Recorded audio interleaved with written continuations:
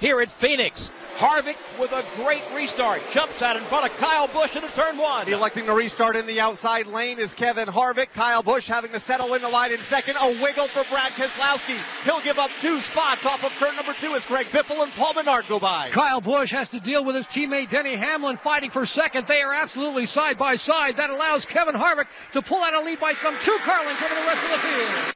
Field works off turn number four as Danica Patrick spins up in turn number four. The white flag is out this time. Kevin Harvick is the leader and takes it back to one. It is all Kevin Harvick at the front of the field. They are side by side for second. Denny Hamlin to the outside of Kyle Busch as Harvick pulls away at the point. He continues to pull away through the dogleg, up the hill, into turn three. Kevin Harvick's lead is now some five, six car lengths over a closing Denny Hamlin. Kyle Busch is in the third spot. And Danica Patrick involved in a crash, but here comes Kevin Harvick. It took 44 tries, but Kevin Harvick is going back to victory lane. They are crashing into the start finish line. Danica Patrick is hit. Ryan Newman is involved as they work back to turn number one. Paul Menard is involved in the accident, as is Kurt Busch. Several other cars go piling in. Brad Keselowski, it appears, may have missed the incident that broke loose just off of turn number four. Danica Patrick has got the most damage, but there were a half a dozen or so other cars that came piling in, sliding into turn number one. Mark Martin is involved. Uh, Kurt Busch is involved. And again, it was Danica Patrick who had spun going into turn number three. She was trying to make it back across the start finish line. There was some checking up going in the field, and yeah, indeed, Paul Menard got some of it. Uh, Ryan Newman got some. Mark Martin, uh, Danica Patrick, uh, along with Kurt Busch here just past the start finish line as Kevin Harvick has won here at Phoenix on a wild, wild day of racing. Indeed, they have, and I got to believe, Jason Toy, that the celebration is on.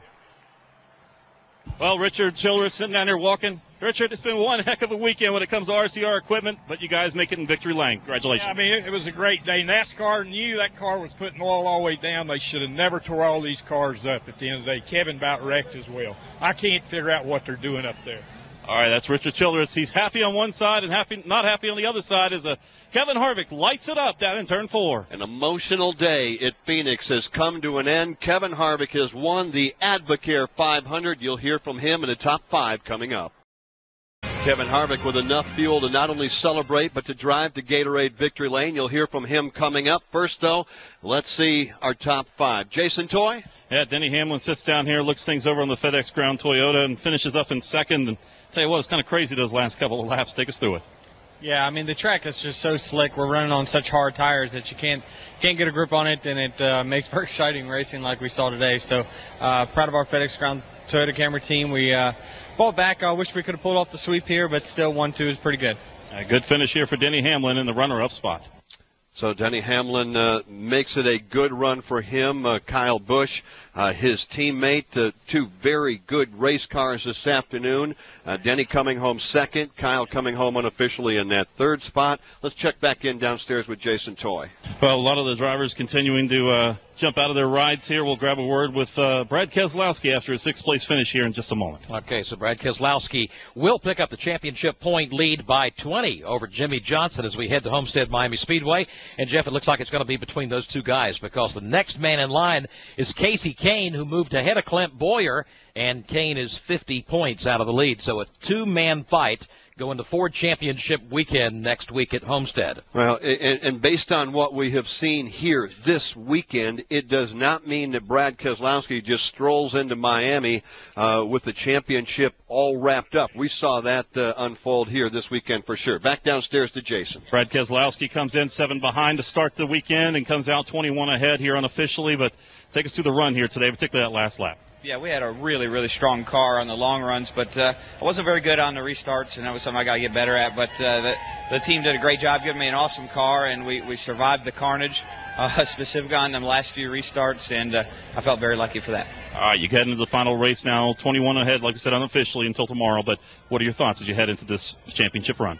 Well, you know, nothing's over till it's over, uh, and um, the same problems that we had uh, or that Jimmy had today, we could have next week at Homestead, and so we just need to keep our head down and focus on what lays ahead. All right, your points leader, Brad Keselowski, finishes sixth. All right, again, has to be very, very happy with the way things turned out today compared to what everybody else was dealing with throughout the, the running of this event.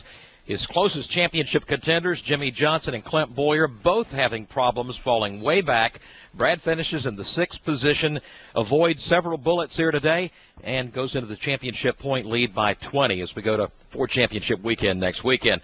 But the big celebration again for Kevin Harvick in Victory Lane after a terrible weekend, losing race trucks and race cars they come back out on top here today, winning at Phoenix. Well, maybe it's a just reward. You know, when you stay at it and you persevere, and that's one thing about Richard Childress and that entire racing team. I don't care if we're talking about the Truck Series, Nationwide Series, or here in the Sprint Cup Series. Richard Childress and that racing team will persevere, and that's really what Kevin Harvick had to do today. Let's hear from Jimmie Johnson. And Jimmy, uh, disappointment certainly. Walk us through what happened out there on the racetrack to put you in the wall. Yeah, we blew a tire coming off of turn four and um, you know hit the wall real hard and damaged the race car. And I think we would have been in the top five, maybe at best, probably seventh or eighth, the way the race was unfolding. And uh, it's unfortunate to have you know the day end like this, potentially end our season um, or our hopes for a championship this way. Describe now the emotions and what you guys have to do to regroup, rally back when you get to Miami. Uh, well, that's that's what this team's made of. We'll always rally, regroup, and do all we can. Unfortunately, we lost a lot of control or all control in the championship, and it's um, you know we can go down there and win the race and do everything on our behalf, and it still won't net us a championship. So, um, you know, we'll go down and do our part and just see how things unfold. Um, today was proof that uh, you know, anything can happen in this sport, and um, you know, we'll see how things shake out in Miami. That's Jimmie Johnson's thoughts as he's brought his battered uh, Kobalt Tools Lowe's Chevrolet back here. 20 points down as they head for the final race of 2012. All right, so that's uh, Jimmie Johnson. A tough day here at Phoenix International Raceway for the Lowe's team. Again, Keselowski has a championship point lead. It is by 20 over Jimmy. Kasey Kahne moves to third, 50 points out. Bowyer drops to fourth, 52 back. Then it's Denny Hamlin in the fifth spot. He picked up two positions anyway. Uh, Matt Kenseth falls to sixth. Greg Biffle seventh, Kevin Harvick eighth, Tony Stewart ninth, Jeff Gordon tenth. That's the way they stack up heading to Homestead next weekend of the championship point standings, which are brought to you by CarQuest. Uh, Auto Parts. CarQuest Auto Parts has over 3,000 locations across North America. Great people, great products and great prices. And by the way, we just want to uh, remind everybody that uh, while we had a spectacular crash here, bringing this race to a close, everybody able to climb from their cars. Uh, it was crazy, but uh, everybody is in good shape. Now let's go down to Gatorade Victory Lane and hear from the winner, Kevin Harvick. Oh, Kevin Harvick. He jumped out of the car and grabbed a Budweiser, but he might have just got something better than that. His young child's first trip to Victory Lane, Kevin. Congratulations. Well, thank you. Yeah, it's um, what a great day. Yeah. You know, uh, car was really tight to start with, and, and these guys did a great job on pit road. Yoda did a great job with strategy and, and just gave us a chance. And, and from there, we raced and uh, we're able to put ourselves in position to uh, to race for the win. And, and uh, on the restart, so we were able to get going pretty good. And, and uh, that last one was, was a little tense, regardless. And, and then we had to dirt track it through the oil there off of turn four. But uh, regardless, it's a great day for our Budweiser Chevy, and, and uh, just glad to be in victory lane. So much going on. I know you've had an eventful weekend, worried about the future. This sport's a lot about winning races. Talk about these guys, these crew guys, and you guys able to get the win at the end of what's been a rough season.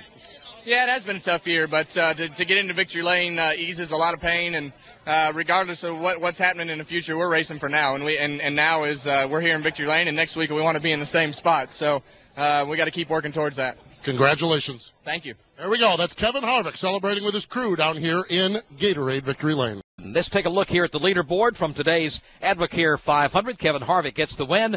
Denny Hamlin comes in in second. Third is Kyle Busch. Fourth is Kasey Kahne. And uh, fifth is Ryan Newman. Let's go to Alex Hayden. With Kyle Busch back here in the Sprint Cup Series garage. Kyle, I know that's got to be a tough one after a dominating performance. What was the difference at the end? Driver just gave it away. Just didn't know didn't know what to do uh, when it came down to crunch time. You know, all those caution flags and everything. Cars were real loose, no handling. Everybody's was on restarts, but you know, I picked the wrong lane once, and uh, it it took the race away. That was J.D. Gibbs that came up and gave Kyle Busch a big hug in the middle of his words and patted him on the chest and told him everything's going to be okay. Kyle Busch, I think, a little bit strong on himself on that one, blaming himself for letting one get away. All right, let's uh, give you the leaderboard once again. Kevin Harvick gets the win in the AdvoCare 500. Denny Hamlin comes in second. Kyle Busch third. Fourth is Kasey Kahne, and fifth is Ryan Newman. And don't forget, because he finished in the top 10 today, you can celebrate at Outback Steakhouse on Monday with a free bloomin' onion with any purchase, like the $9.99 steak dinner. Always fresh in the Outback. So Newman fifth, Brad Keselowski comes in sixth. It's Greg Biffle finishing seventh. Kurt Busch was eighth, Paul Menard ninth, and Mark Martin tenth. Carl Edwards finishes 11th this afternoon. Juan Pablo Montoya 12th, Jeff Burton 13th, Matt Kenseth 14th. Finishing 15th, Bobby Labonte, 16th to Aric Almirola, 17th to Danica Patrick. Marcos Ambrose finished 18th, 19th goes to Travis Kvapil, and 20th to Tony Stewart. Dale Earnhardt Jr. comes in 21st today. Casey Mears 22nd. Jamie McMurray was 23rd. Regan Smith 24th and Landon Cassill 25th. 26th to Dave Blaney, 27th Joey Logano, finishing 28th Clint Bowyer, 29th Timmy Hill, and Jeff Gordon comes in 30th. Sam Hornish Jr., 31st. Jimmie Johnson, 32nd. David Ragan, 33rd. 34th to David Stremme. 35th today to Stephen Leicht. Uh, 36th to David Gilliland. Josh Wise, 37th. Michael McDowell was 38th. 39th to Joe Nemechek. David Reutimann, 40th. 41st to Mike Bliss.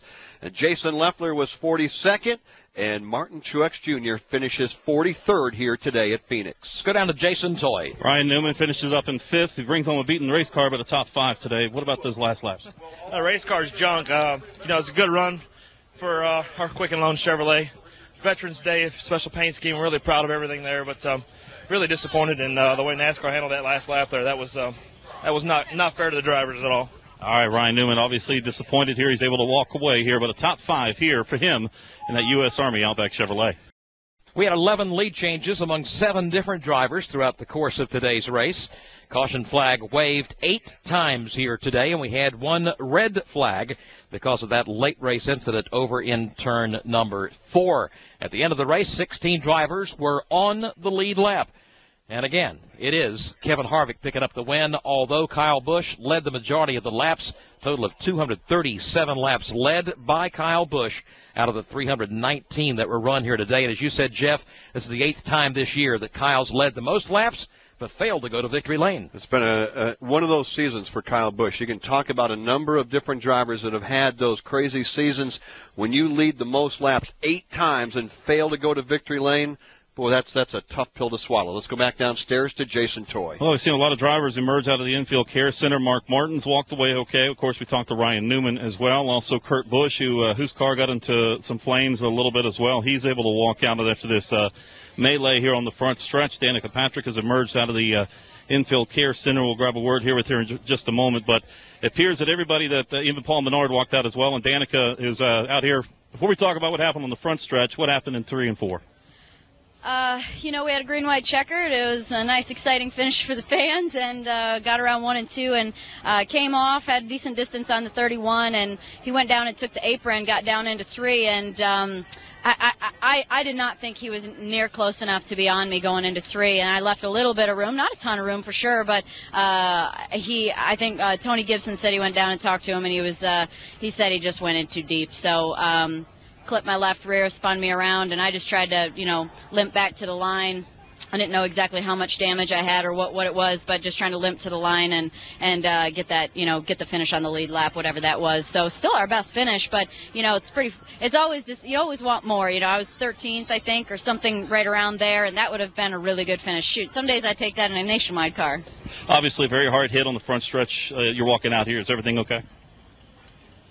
Um, yeah, yeah, everything's fine. Um, obviously, there was the the glance in three and four, uh, but there was a I definitely got airborne and down the front straight. So what's unfortunate is I'm pretty sure that uh, the 39 was one of them. So um, uh, I hope I didn't hope I didn't cause a problem. Um, but um, you know.